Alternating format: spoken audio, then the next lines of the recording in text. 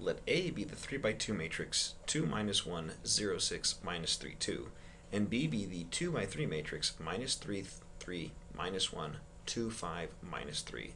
Determine the products AB and BA if they're defined. So let's first work on the product AB.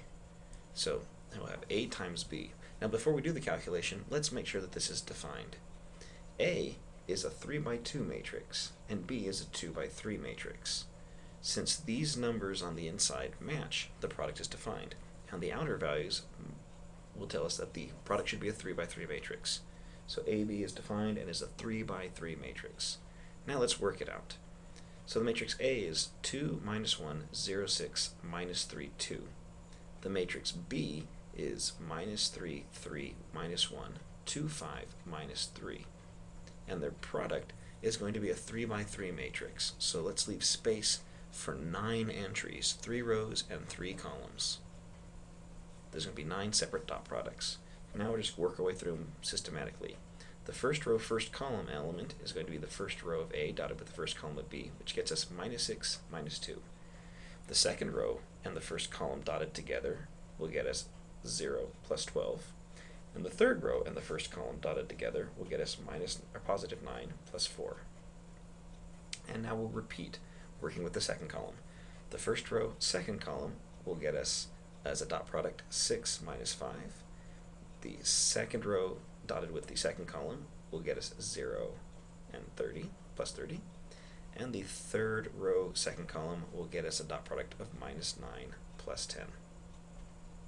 And lastly, let's work on that third and final column. The first row dotted with the third column will get us a negative 2 plus 3. The second row dotted with the third column gets us a 0 minus 18.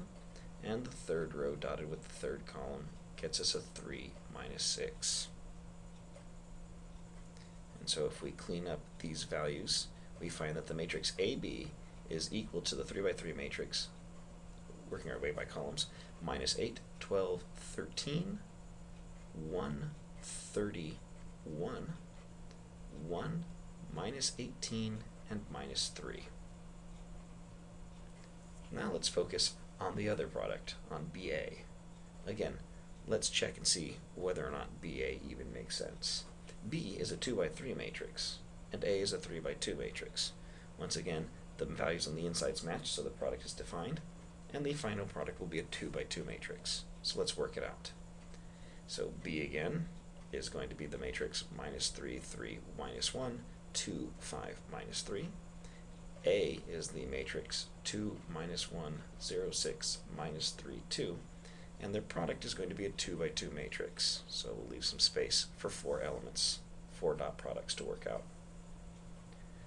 The, now let's work them out. The element in the first row, first column will be the dot of the first row in the first column. That's going to get us a minus 6 plus 0 plus 3.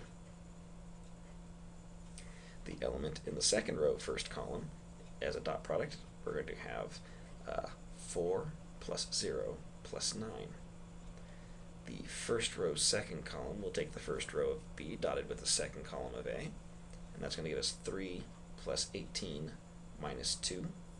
And last but not least, the second row second column dotted together gets us negative 2 plus 30 minus 6. And so if we clean this up, we find that BA is equal to the matrix uh, negative 3 in that first entry, uh, in the second entry, we're going to have 3 plus 18 minus 2, which is 19. 4 plus 9 is 13. And then the last entry is going to be a 30 minus 8. So that's 22. And so there's BA.